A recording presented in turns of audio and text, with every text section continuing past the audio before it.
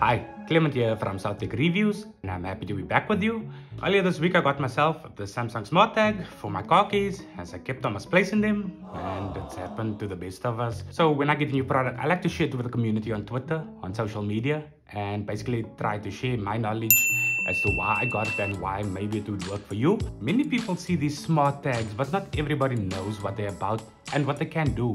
As we go around the product, we'll see smart tag, one pack, Samsung, and all the users. At the back we got our serial numbers and of course the Galaxy logo. But for now, let's just get into it.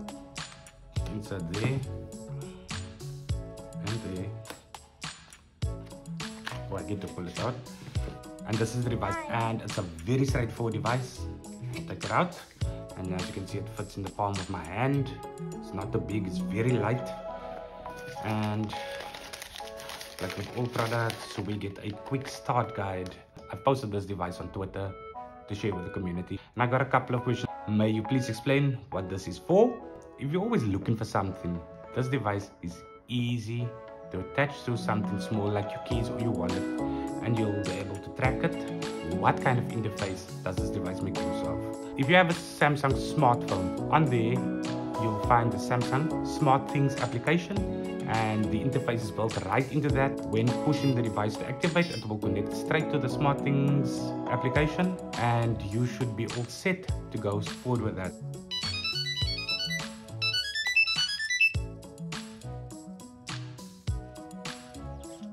And then I got another question, what's the purpose of the device? That basically explains the first question. It's basically in order for you to find your lost items, although you can program this device within the Samsung SmartThings in order to connect your smart home, basically to turn on the light. So in a nutshell, it's a compact device and comes in very handy. As I've mentioned, I keep on misplacing my items and this device has rescued me on more than one occasion.